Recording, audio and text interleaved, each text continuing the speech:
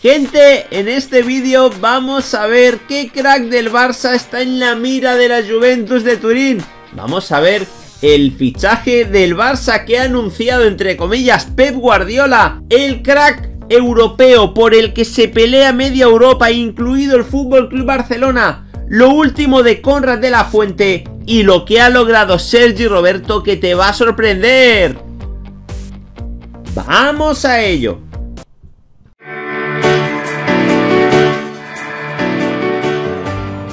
Hola gente, ¿cómo estáis? Bienvenidos de nuevo a otro vídeo para el canal. Vamos a analizar la última hora del Fútbol Club Barcelona y vamos con varias noticias, en concreto 5. Por tanto, te animamos a que te quedes hasta el final del vídeo, a que nos dejes un buen like y a que le deis a la campanita de notificaciones.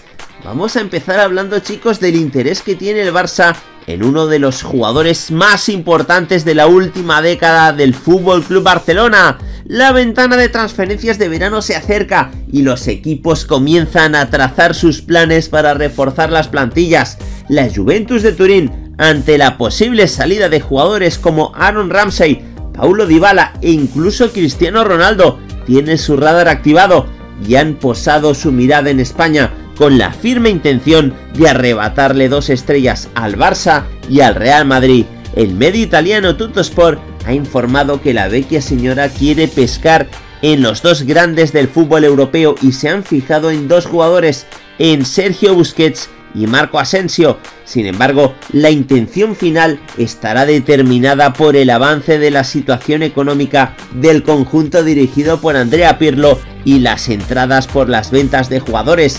Así que el panorama podría cambiar. De momento la Juventus quiere dos jugadores de calidad y con experiencia para reforzar su centro del campo y delantera respectivamente. Tanto Busquets como Asensio son jugadores que llevan varios años, en concreto el culé muchos años en el fútbol a primer nivel y tienen un gran palmarés que les han convertido en jugadores de mucha relevancia en el viejo continente, recordando por ejemplo que el de Badía fue parte del sextete del Barça o que el Mallorquín ganó dos Champions League consecutivas con el Real Madrid. De allí a que el conjunto Bianconeri siempre según Tutosport quiera hacerse con sus fichas. Serían así dos jugadores que cubrirían las fugas de la Juventus en este verano, que serán unas cuantas, considerando que el club atraviesa una complicada situación económica y necesita poner en el mercado a varias de sus joyas para batir la crisis, a pesar de las intenciones de la Juventus y que al mismo tiempo tanto el Barça como el Madrid necesitan vender para sanearse económicamente, es muy poco probable que los españoles pongan en el mercado a Busquets y Asensio, dos jugadores importantes para los equipos.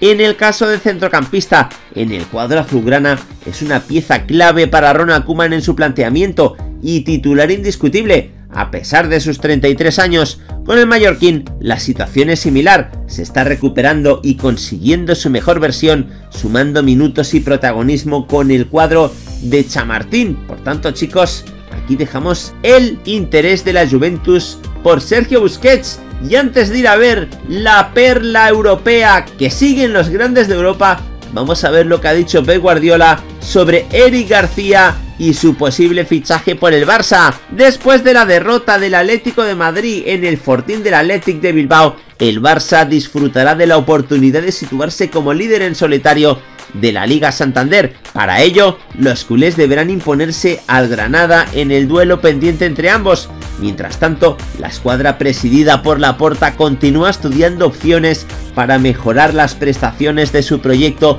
durante el periodo estival de traspasos es por ello que el plantel comandado por Ronald Koeman, quien está desempeñando una sensacional labor a los mandos del flamante campeón de la Copa del Rey, continúa diseñando su ofensiva por Eric García, un zaguero criado en las categorías inferiores del cinco veces ganador de la Champions, que da la sensación que concluirá su aventura en el Manchester City este verano. Por tanto, será una interesante oportunidad a coste cero para los culés, un factor, la carta de libertad del que pretende beneficiarse el Barça, especialmente por la encrucijada monetaria que están atravesando los clubes a raíz de la crisis sanitaria del coronavirus.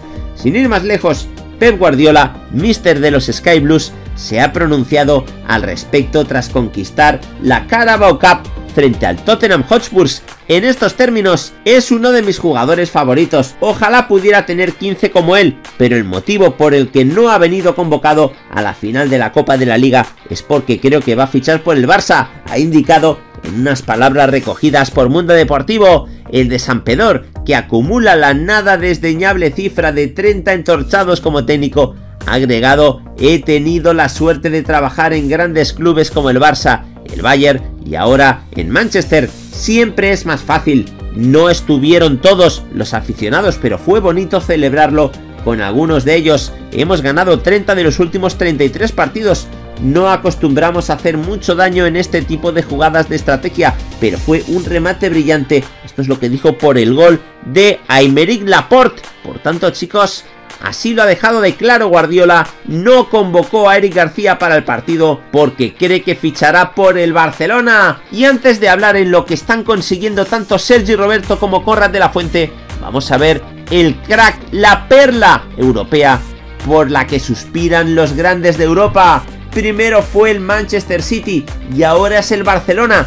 Ya son varios los clubes que andarían tras el fichaje del jugador de la Estrella Roja, Andrija Radulovic. Si del interés de los ingleses informó el diario The Sun, ahora es Sport el que asegura que los culés tienen buenos informes del extremo derecho serbio de 18 años que se ha convertido en la gran sensación del campeonato.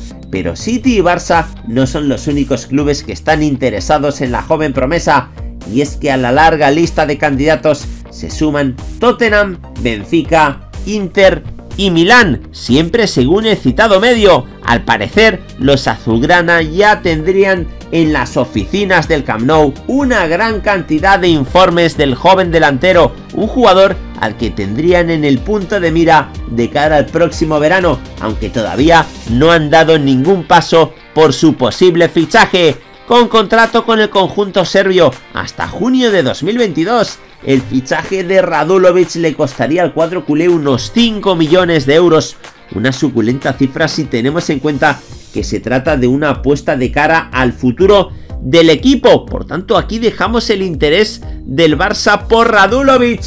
Vamos ahora a hablar, chicos, de lo que ha logrado en estas últimas horas Sergio Roberto, sonrisa por partida doble para el canterano este fin de semana. El jugador del Barça celebró la importantísima victoria de su equipo que les permite quedarse a solo un par de puntos del Atlético de Madrid, líder de la clasificación. Pero eso no es todo, y es que el lateral derecho de 29 años disputó ante el Villarreal su partido número 300 con el Barça, el único equipo en el que el internacional español ha jugado desde que comenzó su carrera como futbolista profesional. El de Reus debutó hace ya 11 temporadas en la campaña 10-11 de la mano de Pep Guardiola y en todo este tiempo ha conseguido ganar 23 títulos, 300 partidos que se reparten en 195 en liga, 46 de copa, 51 de Champions, 5 de Supercopa de España, 1 de Supercopa de Europa y 2 de Mundial de Clubes en los que ha dado 35 asistencias y ha marcado 10 goles Además, este histórico y redondo número le permite igualar a Luis Enrique en cantidad de partidos disputados con la elástica azulgrana. Por delante, para poderlos superar próximamente, quedan el Chapi Ferrer con 301, Basora con 302 e Iván Rakitic con 310. En unas declaraciones ofrecidas a Barça Televisión, Sergio Roberto se mostró muy contento por la hazaña y dijo en palabras textuales, es un orgullo, llegué aquí con 14 años y me hace feliz, Ojalá lleguen muchos más partidos y con victorias y títulos. ¿Con qué partido me quedo? El debut. Es un sueño hecho realidad. Y es que aquí podéis ver a Sergi Roberto en la cuenta oficial del Barça en Twitter celebrando el partido número 300 con el Barça. Vamos a acabar hablando chicos de una de las promesas del Fútbol Club Barcelona de Conrad de la Fuente. Y es que el Barça B tiene claro su objetivo, clasificarse al playoff de ascenso a segunda división. Con 6 puntos todavía en juego, los Blaurana le sacan 5 puntos a la Andorra. Este domingo dieron un paso clave y firme en la lucha por la clasificación, liderado por el estadounidense Conrad de la Fuente. El delantero de 19 años firmó un doblete espectacular ante el Alcoyano en un partido que quedó 1-2 para los Blauranas. El internacional por Estados Unidos se vistió de líder ofensivo y dirigió al Barça la victoria con la destacada actuación también de Iñaki Peña bajo los tres palos. El guardameta se mostró muy seguro y valiente en el juego aéreo de los locales. Con este resultado los Blauranas se mantienen segundos con 43 puntos dependiendo de sí mismos para disputar el playoff de ascenso a segunda A. Por tanto chicos sigue brillando Conrad de la Fuente en el filial. Nos gustaría saber vuestra opinión al respecto y que por favor nos la dejéis en los comentarios justo debajo de este vídeo. Nada más por el momento, como siempre animaros a que os suscribáis al canal para seguir viendo todos nuestros vídeos y aquí os dejamos este vídeo más que interesante para que sigáis disfrutando de todas las noticias del fútbol. ¡Hasta la próxima!